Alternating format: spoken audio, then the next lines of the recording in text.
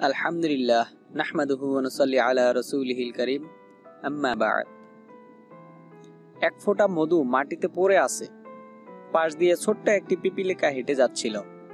মধুর গ্রান নাকে ঢুকতেই থমকে দাঁড়াল। ভাবলো, একটু মধু খেয়ে নেই, তারপর না হয় সামনে যাব।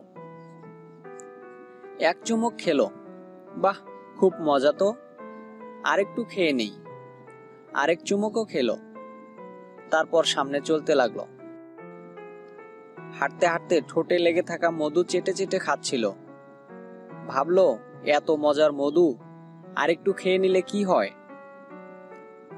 এরপর আবার পিছন ফিরলো।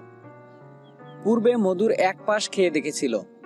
এবার চিন্তা করল, ভেতরে মনে হয় আরও কত মজা। এবার আস্তে আস্তে বেয়ে বেয়ে মধুর ফোটার উপরে উঠে গেল।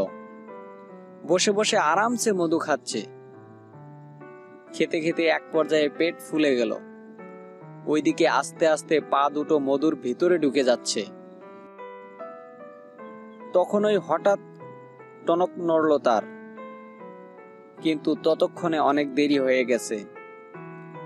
মধু থেকে নিজেকে ছাড়িয়ে নেওয়ার জন্য আপ্রাণ চেষ্টা চলছে। কিন্তু না, মধুতে তার সমস্ত শরীর মাখামাখি অবস্থা। অনেক চেষ্টা করেও নিজেকে উদ্ধার করতে সক্ষম হলো না। নাকে মুখে ঢুকে দম বন্ধ হয়ে যেতে লাগ অবশেষে পিপিলিকাটি মধুর ভেতর আটকে পড়েই মৃত্যুবরণ করল। এই গল্পের শিক্ষা। এই বিশাল বড় দুনিয়াটাও এক ফোঁটা মধুর মতো। যে এই মধুর পাশে বসে হালাল ও অল্পতেই তুষ্ট থাকবে সে বেঁচে গেল। আর যে এই স্বাদের মধ্যে ডুব দিয়ে গিয়ে হালাল, হারাম বাজ বিচার না করে শুধু খেয়েই গেল। আরেকটু আরেকটু করতে করতে একদিন সে এই মায়াজালে আটকা পড়েই মারা যাবে। তখন আর কেউ উদ্ধার করতে পারবে না। ধ্বংস অনিবার্য। তার দুনিয়া ও আখিরাত দুটোই শেষ। অতএব, হে আল্লাহ, তুমি আমাদেরকে এই দুনিয়ার ভালোবাসায় অন্ধ করে দিও না।